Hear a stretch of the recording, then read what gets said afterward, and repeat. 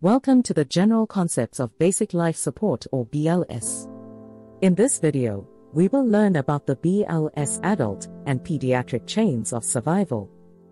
Taking the right action quickly and confidently can make the difference between life and death for an individual dealing with cardiac arrest.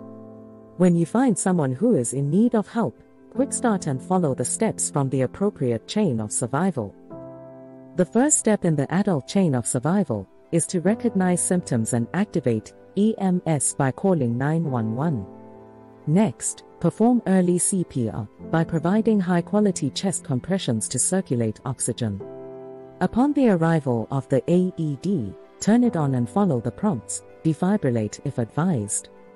Once the EMS team arrives, they will provide advanced life support to the individual. When the individual becomes stable and is taken to the hospital, they will receive post-cardiac arrest care. Now let's review the pediatric chain of survival. Emergencies in children and infants are not usually caused by the heart. Children and infants most often have breathing problems that trigger cardiac arrest. The first and most important step of the pediatric chain of survival is prevention. This means if you come across a child or infant who is experiencing breathing problems, take immediate action. In the case that the heart does stop, perform high quality CPR. If they are still unresponsive after performing CPR, then activate EMS by calling 911.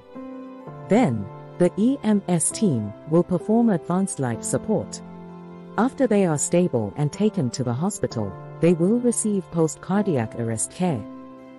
This concludes our lesson on adult and pediatric chains of survival. Next, we will review the 2020 BLS guideline changes.